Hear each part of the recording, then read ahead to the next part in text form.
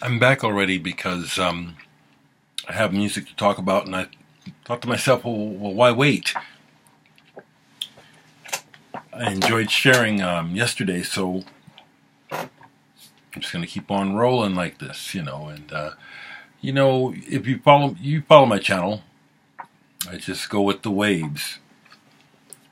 Where I'm going to start is that I received um, a new release. It's about to come out this month, but I got it today, and I don't even don't even have to wait to talk about it because I can already recommend it. It's very good. I've re I've reviewed them before. The Grip Weeds. I believe they're out of Boston. And this is the anniversary edition remixed and expanded CD of their album Giant on the Beach. And this is really good. I, I can tell you right away from the first listen. That's that is important. You don't always get that. I got the you know the one the, the promo sheet to give me a little background on what's going on with this, and um, I read it, but it's like I'm not going to regurgitate it here. This band are in the tradition. They come from the golden era, what I consider like the golden era of um, radio and and rock music you know, the dawn of the Beatles, to be frank. they have, but this is what's great about this music. It doesn't sound like, um, I have one of their other albums, and this is, I like this better, but I'm going to go back and listen to the one, other one, based on how good this one is. Recording of this is, is immaculate. But it doesn't just sound like students or people who are paying homage. They own this music. This is a good band. Um, very Beatlesy, but um, really good songwriting. The references are there. I mean, there are many other references that, that I could point to, but the thing that stands out to me is that the songs in and of themselves and the sound, that big, beautiful guitar sound and those drums too, really well recorded it's the shit. Grip Weeds, Giants on the Beach. I got a sticker too. It also comes with, it's, this will be um, released on January 17th, according to that. And it'll be uh, for a time limited edition, or maybe not. It's just the deluxe anniversary edition. Comes with a bonus CD of live, there's live material, is, are there some rehearsal takes on here, acoustic mixes? I just popped on and heard the first track on this, and once again, from the very top, the way it sounds, how good the band sounds. Um, this is really good. I can highly recommend Grip Weeds. Now, the other thing that stood out to me, and you know, I'm not a lyrics person, but I noticed that the lyrics were were good to the point that it was like they did not um, stand out to me, you know, because a lot of times that's what happens in music. My first impression of, of some lyrics will be like, boy, they just, you know, this is um, really not necessary, or something like that, or that the lyrics will seem kind of trite, or, you know what I mean? These are these lyrics uh, come across as good and if there's a thread to this, which there probably is, and I probably mentioned it on here, and I'm just, I just want to tell you right away that I don't even need to wait to tell you how good this Giant on the Beach by the Grip Weeds is. Excuse me. Coming out this month, you know. I think they said the uh, release date is January 17th. So um, now you know. You don't even have to wait to find out. This is really good. He also sent this to me as well, like the, uh, excuse me, the back for a CD jewel case. So I wanted to do that to start with. Thank you, uh, Grip Weeds, for sending that to me. Um, thank you, John. I think John Dawson may be my connection. Not maybe, but is the connection there.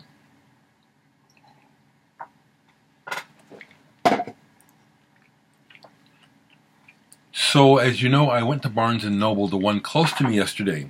I really was not tempted to go to the one out west today until I saw a post from another local uh, friend.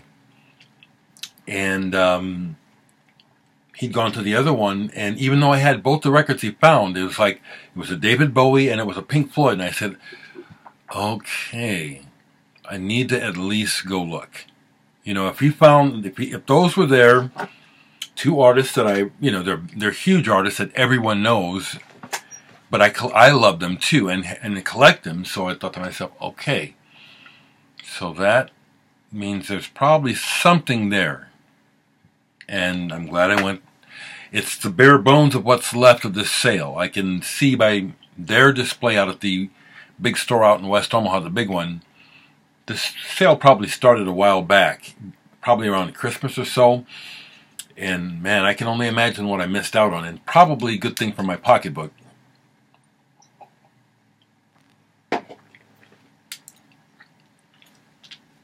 I can tell by the um, cover of this that, you know, many of these half prices have been sitting in the stores for a while now, for a few years, not going anywhere. So it's like this is what they end up doing.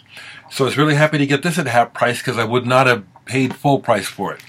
But I collect and I love Jeff Beck. Is Jeff Beck Live Plus. Now what I'm talking about is, even though it was um, still sealed, here's this corner that's worn from the years of being flipped and probably even I might have been just that store, but it's got that wear where you know it's been in the store for a while. It's been flipped over and over and over and over. So the price on this was 40 bucks new, so I got it for 20. And heavens knows I was would not have ever paid 40 bucks for this new. I've only played one side. I love Jeff Beck. This is really well recorded. I've seen him live twice. Um, not with this particular group, except Rhonda Smith on bass. I saw him once with her, but Narada Michael Walden was on drums that at that time. There's some new studio tracks on this which I haven't gotten to yet. I love Jeff Beck's playing, so what I played I love already. He he loves to play the blues. He is so idiosyncratic that he will get me to listen to the blues. How's that? Jeff Beck. So I got this. I got two more. I had been. I'm glad that I waited and got this because I'd been tempted in the past. This came out, Jeff Beck, um, Loud Hailer. This came out in 2016. And even though I think the, the cover is crap as far as design, it's trying to make a statement, which is fine, but as far as a cover, it's like, I think it fails. I'm glad that I waited. So I got this for 10 bucks today, half price. And my first impression of this is, again, Jeff Beck. First off, there's the blues on here. He's a blues lover, so that's to be expected. He plays the hell out of it in a way like no really well, no one else does. He doesn't imitate the old blues guys. He took what he learned and made it his own a long time ago. But the thing I've noticed about Jeff Beck with his management, and I think this I think I've got this right that he is up for most anything as far as management flipping him ideas of ways to stay current or try ways of expanding or keeping his market young. So what I mean by that is that it turns out that this album, Loud Hailer, is him featuring these two young women backing him up. One a singer and the other a guitarist. And uh,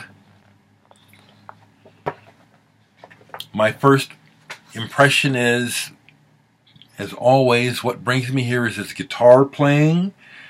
The girl singing is, well, she's a young, young, beautiful, beautiful young girl that can kind of wail a little bit on the blues, a little bit, a little bit. That's my first impression. Um, but you know, I'm really not that interested. You know, um, it just really seems like it's still really important to a lot of people that people can do that authentic blues wail thing. You know, and I guess it's because, like I said about kids in classical music, that we all have that potential. You just have to, you know. Um,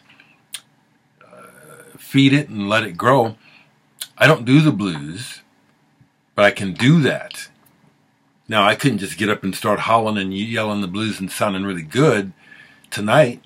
but I've done this before in the past because music is just in my DNA. Where I said, Oh, I'll show you. I can do this and practice for a couple days or a week and then play the hell and sing the hell out of some blues. I've done it, you know. So it's, it's the roots thing that people just seem to need, and Beck is one of them. Just loves the blues. So, like I said, I'm just going off on a tangent a little bit about this record. I'm glad I got it though.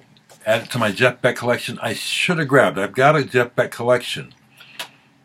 I don't know, over a dozen albums for sure.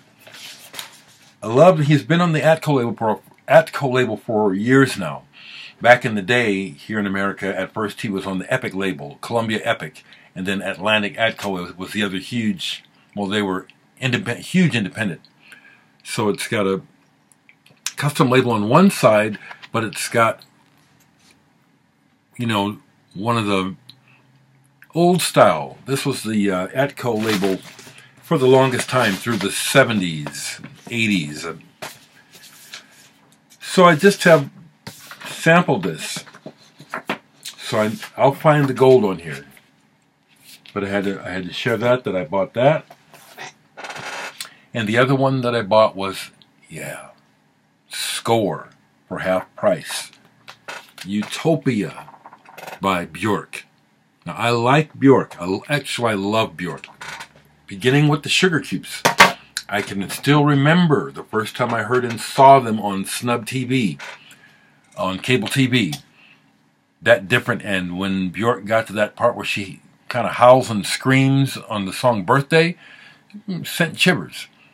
So, um, but she does so much stuff that I long I stopped trying to collect her a while back, and I started collecting her when she was doing the um, individual DVDs. She'd put out a song per DVD, so I have several of those, which when it first came out was novel.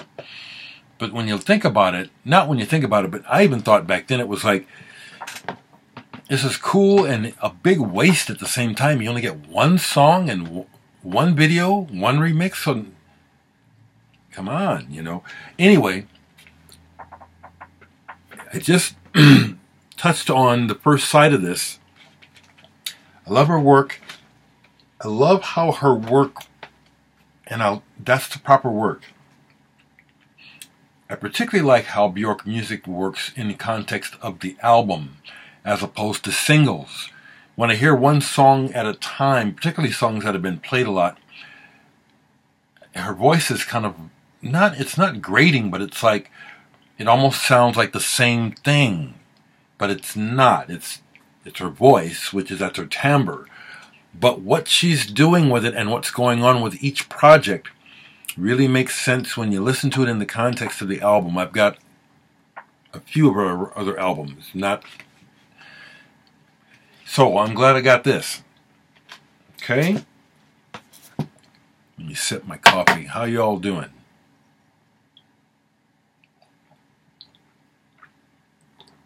I see some folks saying hello. I don't know if you're trying to get me to respond to you.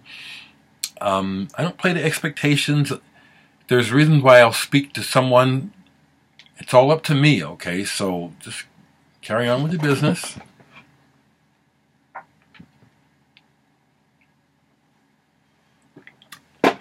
people make recommendations to me also, and if I don't respond to it, that's that's kind of the response, you know. I do listen to a lot of music, you know. So what else is happening here? Okay. While fixing lunch today, I put this on on CD. I have it on vinyl as well. Modern English, their first album, Mesh and Lace. This is the first time it was released on CD by 4AD. It's probably been reissued on 4AD on CD since then, probably. Um, I ought to look into it because this has extras. It's got their first singles all on the CD, along with the first album, which is cool. But the mastering is crap on this. Um, whenever I listen to it, in order to enjoy it, I have to EQ it myself on my computer. Uh, I just can't stand how thin it is. Uh, I really can't. And even, and but it's there. When I EQ it, it's like what I want to hear. It's there, you know. This is a fantastic debut album, in my opinion. Still, it still shoots sparks, and the fact that they had a huge hit it wasn't so much a fluke, but the fact that what they were doing was so innocently good. You know, they were just creating and they were just I met them when they, they came to Nebraska on the just before Melt With You blew up. Just as it was blowing up, they came and played a club in Lincoln, Nebraska. And I interviewed them for a fanzine that I was a part of. They were lovely. Mick Conroy, the bass player, is still a buddy of mine. We talk, excuse me, on the in on Facebook. Um, he's a friend of mine to this day. I love that.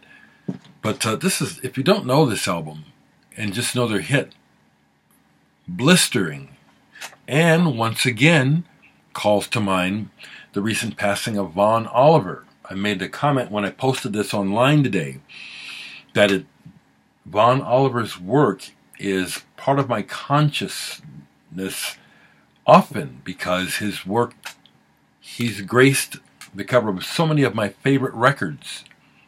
You know, so Vaughn Oliver comes up again today. I'm going to keep going until I am done with what I've been playing, okay? I did play a few records today. I put some away and I kept some out. Here's one by a group that ended up being mainly known for production behind the scenes. Startled Insects, Curse of the Pheromones, yeah, is the name of this album. They have two albums. I just have this one on the Antilles label. Instrumental, I don't mind that there's just a bit of an 80s production um, sheen to, I, well, I don't know, sometimes that gets in the way of listening to some records. trying to see if I can see the. Uh, oh, that frustrates me how.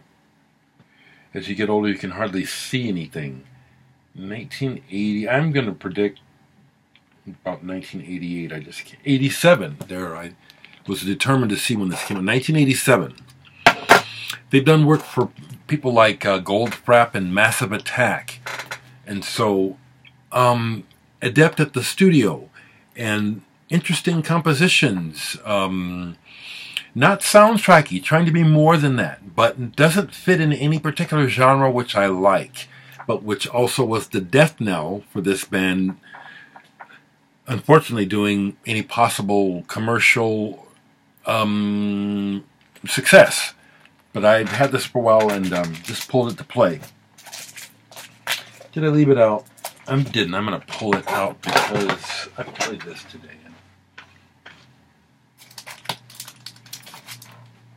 I used to, you know, Peter Gabriel is really important to the his, my history, but because I devoured his music when I was young, to the point that I would, you know, like, you know, get sick of it, I, I almost never listened to Peter Gabriel. So I played this all the way through today. Really enjoyed it. This is my least favorite, and that's how I posted it on Facebook, knowing that the way I worded it would cause some conversation and, and most of it good.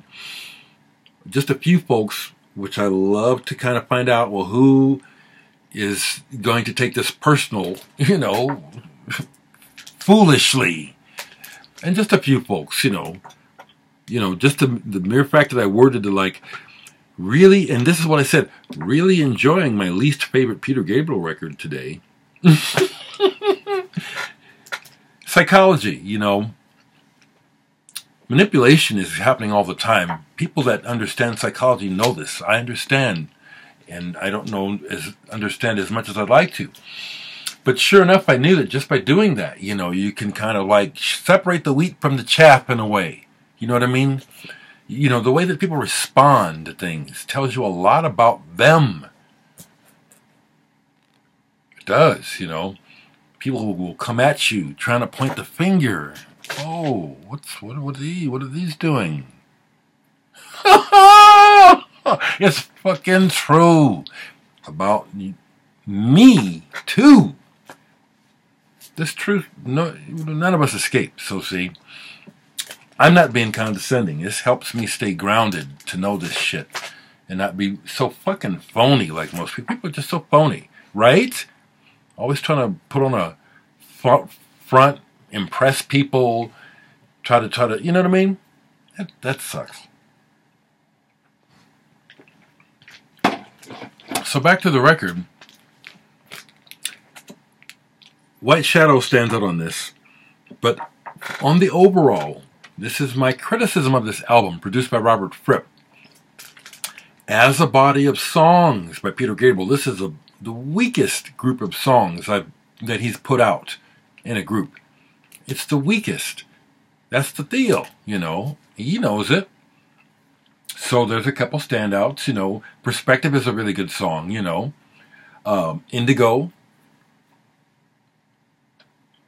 He ought to re record that. So enjoyed this today.